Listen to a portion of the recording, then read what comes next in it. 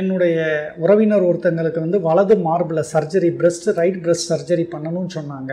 ஆனால் அவங்க base maker வச்சுருக்குறாங்க பண்ணலாமா? இந்த காட்ரி யூஸ் பண்ணக்கூடாது இந்த மாதிரி குழப்பங்கள்லாம் இருக்குது அப்படின்னு பார்த்தீங்கன்னா எஸ் எலக்ட்ரோ காட்ரி வந்து interferes with pacemaker functioning பேஸ் மேக்கரை சரியாக வேலை செய்ய விடாது. ஸோ அந்த காட்ரியில் யூனிபோலார் பைப்போலார் அப்படின்னு இருக்குது பைப்போலார் காட்ரி இன்டர்ஃபியர்ஸ் லெஸ் பயன்படுத்தலாம். ரெண்டாவது இடது பக்கம் நம்ம பேஸ் மேக்கர் வச்சுருந்தோம்னா அதுலேருந்து தூர வலது தொடையில் பண்ணுறோம் வலது முதுகில் கீழே பண்ணுறோம் அந்த மாதிரி இருக்கும்போது அந்த ஃபீல்டுலேருந்து தள்ளி இருக்கும்போது பிரச்சனைகள் ஏற்படாது. அப்படி ஏற்படும்னு ஒரு பயம் இருந்தால் கண்டிப்பாக நீங்கள் அந்த கம்பெனி ப்ரோக்ராமருக்கு இன்ஃபார்ம் பண்ணால் அவர் வந்து கூட நிற்பார் ஆப்ரேஷன் அப்போ. எதுவும் ப்ராப்ளம் இருந்ததுன்னா அவங்க ப்ரோக்ராமிங் பண்ணி கொடுப்பாங்க. அதனால் எலக்ட்ரோ காட்ரி யூஸ் பண்ணலாம் பட் கொஞ்சம் கவனமாக அதை பயன்படுத்த வேண்டும்.